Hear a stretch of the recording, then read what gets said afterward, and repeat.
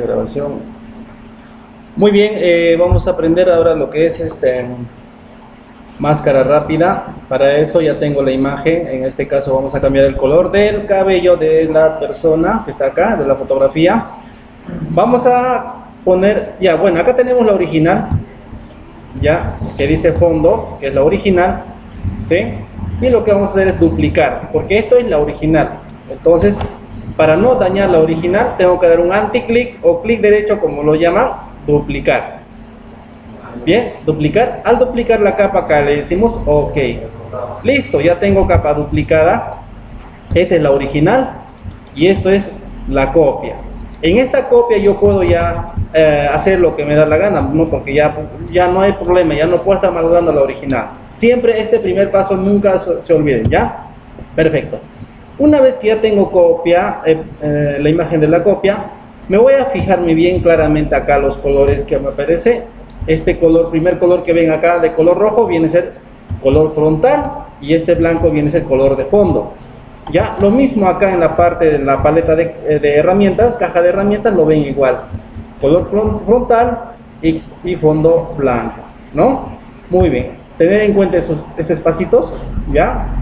Ahora vamos a utilizar máscara rápida. Para eso acá tengo la herramienta máscara rápida. Acá en la parte de abajo en la paleta de caja de herramientas. Esta es la máscara rápida.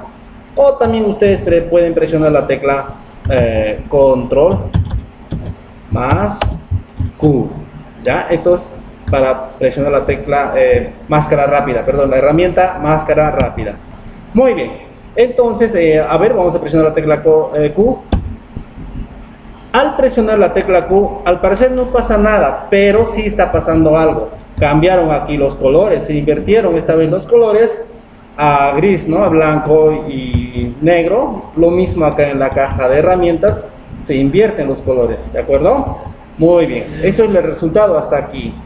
Luego, el siguiente paso, ¿cuál es? Vamos a activar la herramienta pincel que se encuentra por acá. Aquí está la herramienta pincel.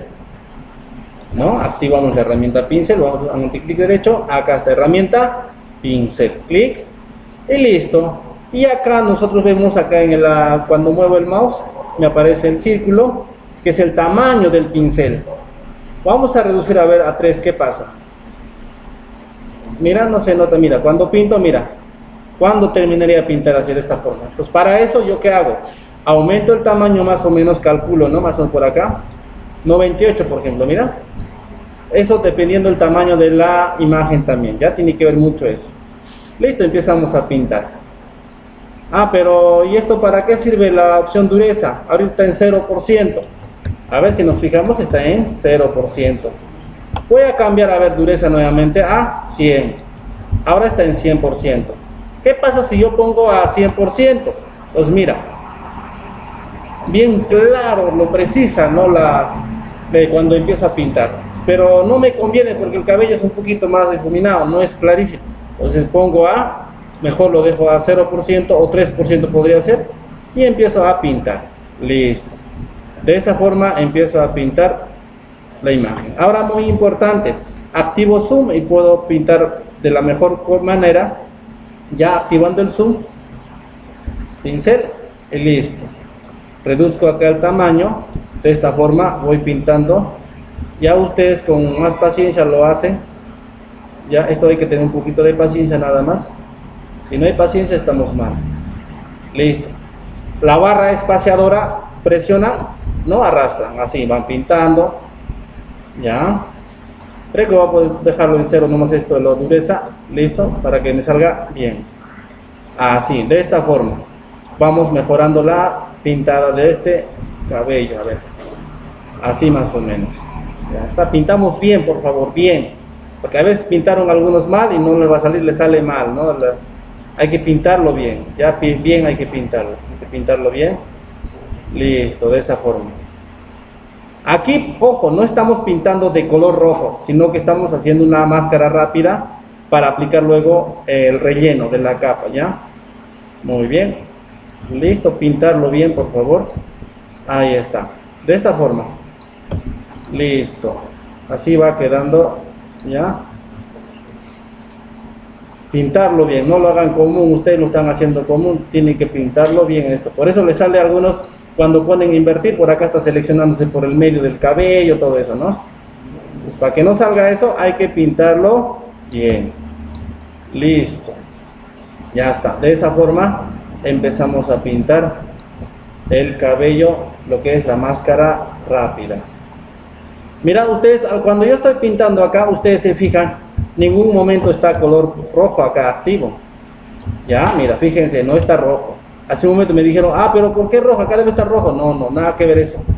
Ya, por ahí me dijeron así. Mira, no está rojo. Sino que esto es máscara de rápida. Máscara rápida, ¿ya? Así se le llama la herramienta que estamos utilizando para que el color del cabello quede tal cual con la textura.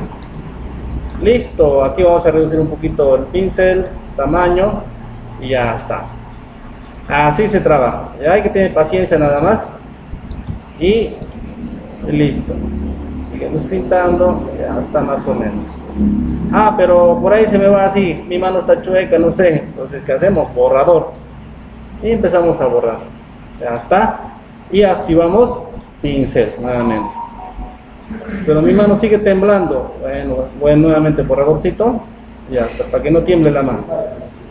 Ya, ya, es que por ahí alguien tiembla la mano, después no puede hacer. Bueno, ya lo solucionamos así. Listo, algo así, la, ya más o menos así, ¿no? Aumentamos, aumentamos el tamañito. Ahí está. Listo, ya está. Ya está, algo así, ¿no? Ya está, están ahí. Listo, vamos a... Ahí está, mira. ¿Cómo quedó? ¿No? De esta forma, rojito. Ya. Pero ahí no queda todo. Una vez que ya terminé pintar la máscara rápida que he hecho, vuelvo a desactivar esta opción o simplemente en la Q presiono, listo. Ah, se selecciona de esta manera. Pero mira, fíjense, selecciona tanto el cabello se selecciona tanto el cabello, mira, también se selecciona el externo. Entonces, yo solamente quiero que se seleccione el cabello, nada más esto, y no esto de acá. Para eso le digo selección invertir. Selección invertir. Mira, al dar un clic en selección invertir, ahora ya se selecciona solamente el cabello, ya no afuera, ¿se han dado cuenta? No ya no afuera. Listo. ¿Y cuál es el siguiente paso?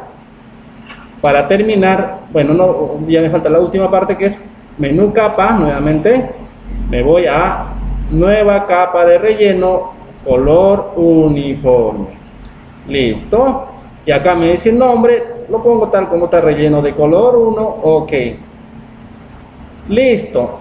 Ah, mira, parece ahora se pinta de color rojo y de paso que lo pinta todo teñido y encima me aparece la ventana de colores y no solamente eso, en la capa, en la capa se crea otra capita llamada relleno de color. Aquí es donde se trabaja, miren, esto tiene que ser bien observativos ustedes. Listo, entonces voy a cambiar. En este caso, una cliente me pidió que cambiara el color de cabello porque no le gusta. Me pidieron, me dijo que ya no sea negro, sino ahora que cambie por azul a buscar azul. Ahí está, azul. Cambio color azul. Y le digo, ok. Y listo. Ahora eso no es todo, porque está feo, no se nota la textura del cabello. Entonces, ¿qué vamos a hacer? Me voy acá a, dice acá, normal, ¿no? Clic, busco luz suave. Ahí está, luz suave. Listo. ¿Para qué? Nuevamente, clic normal, luz suave. Y listo. Para que la textura del cabello quede tal cual como me pide en el ejercicio o la cliente me pide que cambie su cabello de color azul. Ahí está. Listo. Pero ahora te dijo, no, ¿sabes qué? Eh, no, mejor azul no. Quiero color eh, rojo. Ah, bueno, pues entonces, ¿qué hago? Control a ver qué hago para eso. Presiono la tecla control, la tecla control, ya. Sin soltar la tecla control, hago clic. Tengo que hacer clic. A ver, ¿dónde? Aquí. aquí encimita, donde está de color negrito, ya la máscara donde hemos creado, acásito, ahí, presionamos control, mira, y el puntero me aparece, mira, de esta forma, ¿no?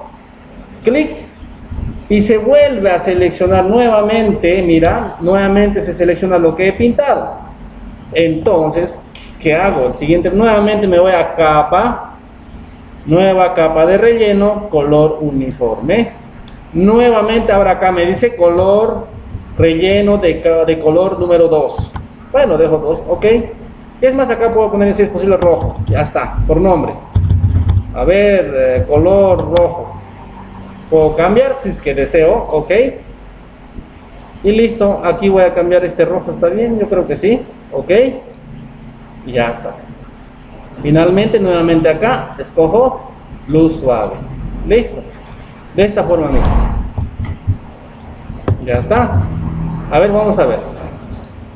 Es azul, ya tengo rojo.